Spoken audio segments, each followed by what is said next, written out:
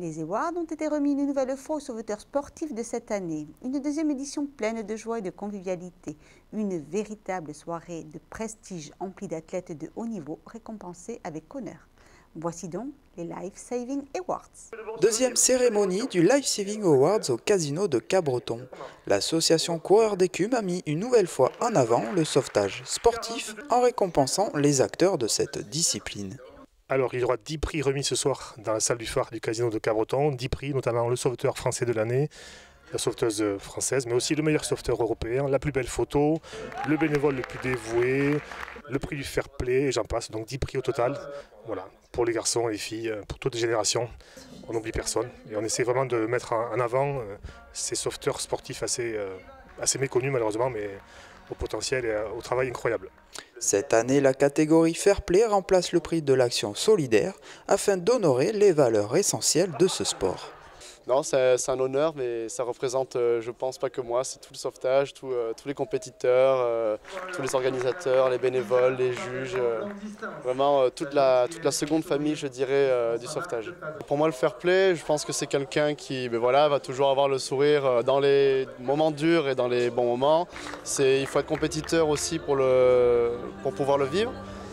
C'est quelqu'un qui, a, bon, qui va avoir un petit, mot, euh, un petit mot sympa le matin, le sourire, euh, voilà, mais en même temps on ne peut qu'avoir le sourire euh, avec, mon club, je parlais de mon club, Direct Sauvetage Côtier, quand on va en déplacement avec les, coachs, avec les jeunes, avec les anciens, qui sont toujours là dans la bonne humeur, donc on, on peut qu'avoir le sourire et faire des, faire des trucs cool, c'est ce qu'on nous a enseigné, c'est comme ça qu'on nous a inculqué.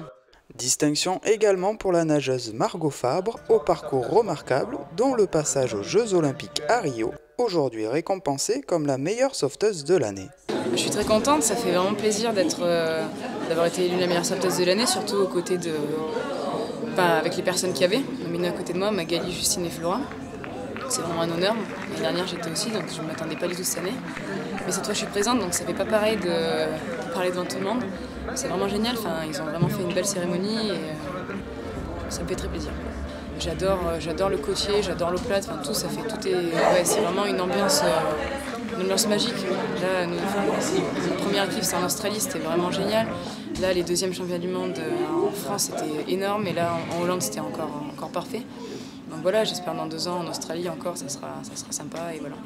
D'autres trophées ont été bien sûr remis lors de cette cérémonie que l'ancien rugbyman Olivier Magne a eu le plaisir de parrainer. Je suis euh, enchanté d'être là au milieu d'autres sportifs, d'un sport différent que le mien, mais en tout cas euh, qui, euh, qui est tout à fait intéressant et qui, pour lequel j'ai beaucoup d'admiration. C'est un sport qui qui gagne à être connu. C'est un sport qui, euh, euh, qui est très enrichissant euh, d'un point de vue personnel et qui a une particularité, c'est que au-delà du sport, c'est surtout dans l'idée de, sauver des gens que ces, personnes-là se perfectionnent.